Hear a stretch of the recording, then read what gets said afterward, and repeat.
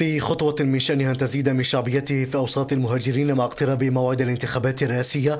قررت إدارة الرئيس الأمريكي باراك أوباما السماح للمهاجرين الشباب غير الشرعيين بالبقاء في الولايات المتحدة لفترة أطول مما سيرفع شبح الترحيل عن الشباب الذين يشعرون بقلوبهم أنهم أمريكيون حسب ما أكده أوباما مساء الجمعة في البيت الأبيض.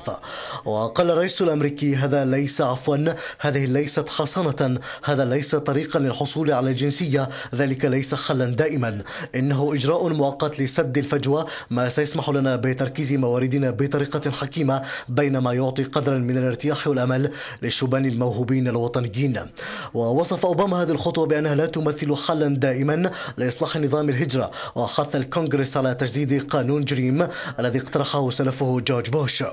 وأدان الجمهوريون الذين يتبنون موقفا صارما من الهجرة غير الشرعية الإجراء على الفور. واصفين إياه بأنه ميل إلى أصوات اللاتينيين لكن في المقابل رحب المهاجرون الشباب غير الشرعيين بهذه الخطوة. نحن هنا لأنهم بحاجة إلى معرفة أننا لن نتراجع لأننا حصلنا على هذا المكسب. نحن ما زلنا ننتظر تحقيق الهدف من قانون جريم والهدف من إصلاح نظام الهجرة. ومن المحتمل أن يفلت حوالي 800 ألف مهاجر شاب داخل الولايات المتحدة بطريقة غير شرعية عندما كانوا أطفالا من الترحيل بموجب الإجراء الجديد.